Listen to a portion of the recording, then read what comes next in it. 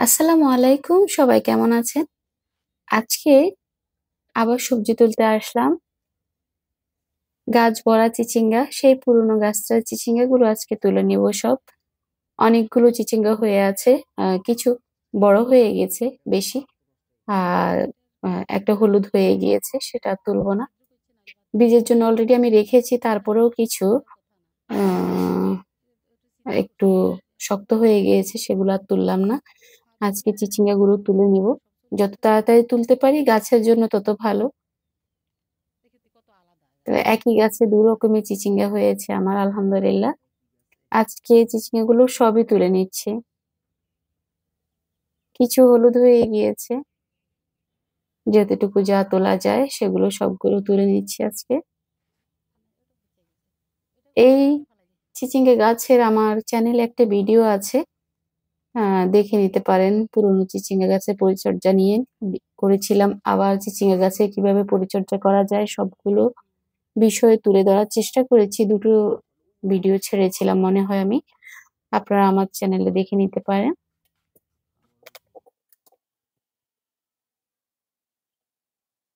বাগান ঘুরে, ঘুরে সবজি তোলার মজাই আলাদা। আমাদের বাসায় যে আসে আমরা সবাই মিলে সবজি তোলার চেষ্টা করি। সবজি তুলতে অনেক মজা লাগে। সেজন্য সবাইকে যে আসে আমি সবাইকে নিয়ে সবজি তোলার চেষ্টা করি। তো বাগানের আনাচে-কানাচে হয়ে আছে অনেক রকমের করলা। সেগুলোও তুলে নিচ্ছি। করলা আমার বাগানে অনেক রকম আছে। আর এখানে একটা পেয়ারা কচকচা হয়ে আছে সেটা একদম তুলে নিলাম। আরও আছে সেগুলো পরে তুলব। প্রতিদিন দেখা যাচ্ছে ২ টা, ৩ টা, ৪ টা তোলাই যায় পেয়ারা। সবসময় পেয়ারা দেখা যাচ্ছে যে একটু পাকার আগে, আগে তুলতে হয় না হলে এই সিজনে কিছুটা পোকা হয়ে যায়। এগুলো করলা একদম ছোট সাইজের এগুলো উস্তা বলে এগুলোকে।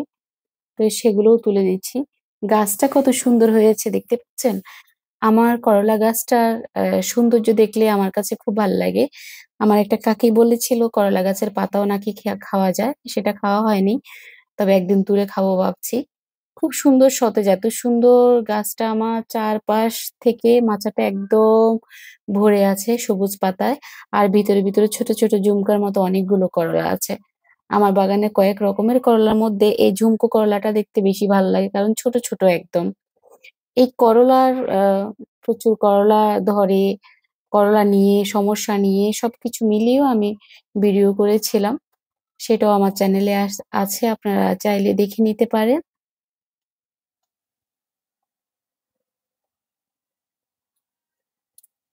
এই সিজনটা করলারই ছিজ সিজন এখন করলার সিজন শেষ হয়ে যাচ্ছে। সারা বছর যদিও হয় এই সিজনে একটু বেশিই হয় ছাদ বাগানে করলা।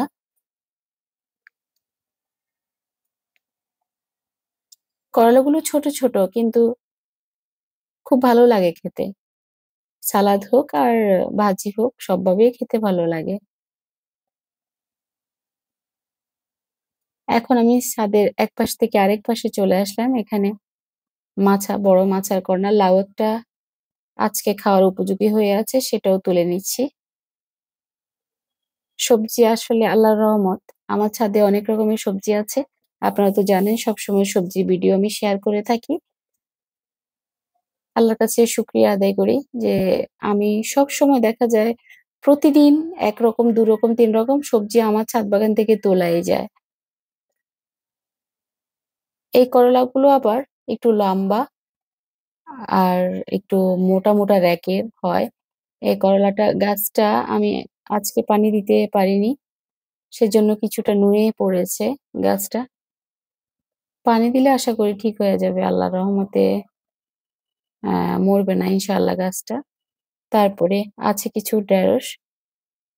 সেদিনও তুলেছিলাম কিছু ঢেঁড়স, আজকেও তুলে নিচ্ছি।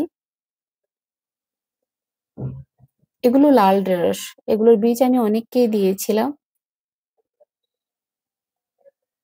আলহামদুলিল্লাহ আমার ঢেঁড়সগুলো, গাছগুলো যথেষ্ট সতেজ সুন্দর আর ঢেঁড়সও খুব ধরা শুরু হয়েছে মাত্র।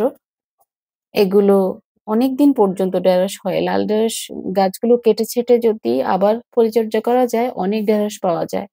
তুলে না ফেলে নতুন করে পরিচর্যা করলে ঢেঁড়স গাছে অনেক ঢেঁড়স আসে। অনেক দিন পর্যন্ত ঢেঁড়স ধরে।